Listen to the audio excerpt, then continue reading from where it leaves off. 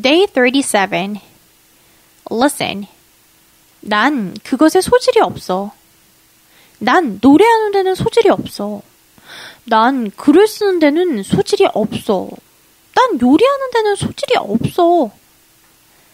I am terrible at it. I am terrible at singing. I'm terrible at writing.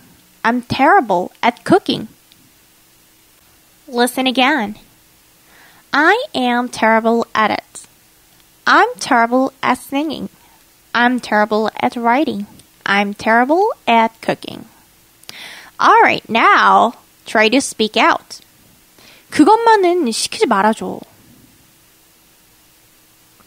I am terrible at it. I'm terrible at it. 노래는 하지 않을 거야.